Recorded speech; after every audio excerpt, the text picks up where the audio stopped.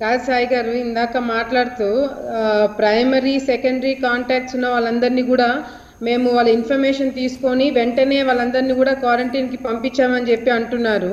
దాదాపుగా నెల రోజుల పైన అవుతుంది ఈ లాక్డౌన్ కూడా ప్రకటించి. మరి ఈ వా- ఈ లాక్డౌన్ కరెక్ట్గా మెయింటైన్ చేసి ఎవరు బయటికి రానివ్వకుండా ఈ ప్రైమరీ సెకండరీ కాంటాక్ట్స్ ఢిల్లీ నుంచి వచ్చిన వాళ్ళు కానీ లేకపోతే పక్క రాష్ట్రాల నుంచి వచ్చిన వాళ్ళు కానీ లేకపోతే విదేశాల నుంచి వచ్చిన వాళ్ళ ప్రైమరీ సెకండరీ కాంటాక్ట్స్ అందరినీ క్వారంటైన్ పంపించింటే కేసులు నార్మల్ అయ్యిండాలా లేదంటే ఒక్కొక్క నంబర్ తగ్గుతూ వచ్చిండాలా? కానీ ఈరోజు కర్నూలు జిల్లాలో ఒకే రోజు నలభై కేసులు ఈరోజు అనౌన్స్ చేశారు అంటే మరి ప్రజలు ఎవరికి చెప్పుకోవాలా? వీళ్ళ వీళ్ళ బాధలు ఎవరికి చెప్పుకోవాలనేది కూడా అర్థం కావట్లేదు. ఈరోజు మంత్రులు పలకట్లేదు.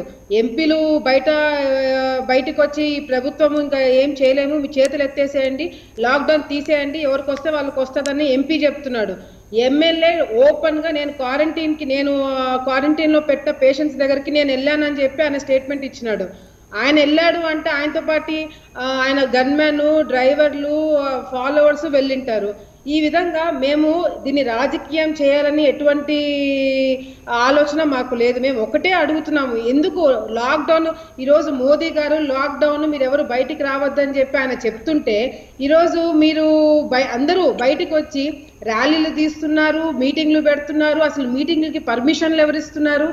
ఇదేనా లాక్డౌన్కి మీనింగ్ అంటే ఇదేనా? అంతేకాకుండా ఈరోజు టెస్ట్ టెస్టులు చేసే దాంట్లో ఆంధ్రప్రదేశ్ నంబర్ వన్ అని చెప్పి అంటున్నారు. చాలా సంతోషము. ఆంధ్రప్రదేశ్ టెస్టింగ్ చేసే దాంట్లో నంబర్ వన్ వస్తుంది. అదే విధంగా కేసులు పెరిగే దాంట్లో కూడా నంబర్ వన్ వస్తుంది. దాన్ని ఏం చేయబోతున్నారని చెప్పి మేము అడుగుతున్నాము. ఈరోజు కర్నూలు జిల్లాలో గుంటూరు దేశం మొత్తంలో కూడా పదిహేడు స్థానాల్లో ఈ కరోనా కేసులు పెరుగుతున్నాయి అని అన్నప్పుడు ఈ రెండు ఈ రెండు జిల్లాల్లో పెరుగుతున్నాయని చెప్పినప్పుడు మీరు ఎటువంటి యాక్షన్ తీసుకుంటున్నారని చెప్పి మేము క్వశ్చన్ చేస్తున్నాము. అంతేకాకుండా ఈరోజు మాస్కులు మేము ఇస్తున్నాము పోలీస్ డిపార్ట్మెంట్కి ఇస్తున్నాము డాక్టర్లకు ఇస్తున్నాము అని చెప్పి అంటున్నారు. ఈరోజు నంద్యాల ప్రాంతంలో శాంతిరాముడు హాస్పిటల్లో వెయ్యి కిట్లు అడిగితే కేవలం వంద మాత్రమే పంపించినారు. సో. డాక్టర్లకి ఇంకా గ్రౌండ్ లెవెల్లో పనిచేసే వాళ్ళకి సరైన ఫెసిలిటీస్ రావట్లేదు. రైట్